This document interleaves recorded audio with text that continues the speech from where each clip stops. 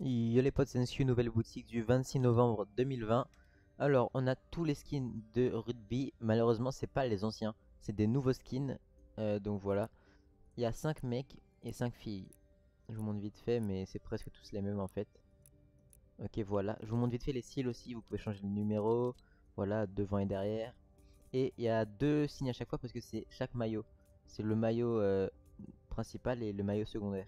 je vais pas tout vous montrer, il y en a plein et aussi visière pour l'enlever. Ensuite, donc je sais pas si les anciens skins de football reviendront, mais peut-être. Ensuite le logo sponsor, donc c'est toutes les équipes qu'on a vu tout à l'heure, et bah c'est pareil, mais en sac à dos. Penalty au prix de 300, et c'est réussi au prix de 500. Ça passe. Refus total. Oval d'or, achat poteau, balise repère, pot de ballon, il y a vraiment beaucoup de choses. Et temps mort.